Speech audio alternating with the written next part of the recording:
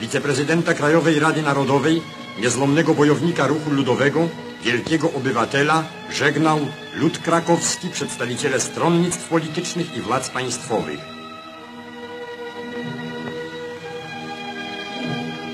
Na rynku przed kościołem mariackim przemówił prezydent.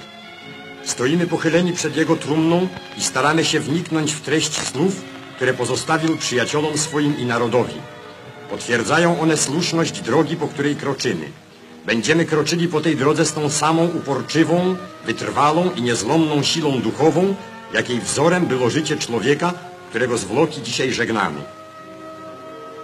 Słowa, o których wspominał prezydent brzmią Iść twardo i niezłomnie ku utrwaleniu demokracji i niepodległości państwowej. Cenić głęboko przyjaźń sąsiedzką, której zawdzięczamy swe wyzwolenie. Być wiernym zawsze i do końca swemu narodowi. Tę wierność uczcił naród krzyżem Grunwaldu. Z Krakowa ruszył kondukt żalobny do Wierzchosławic.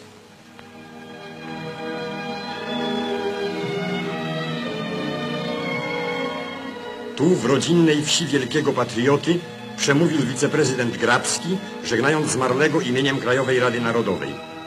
Imieniem rządu żegnał go premier. Pozostał całe życie wiernym i nieugiętym przywódcą chłopskim, powiedział premier.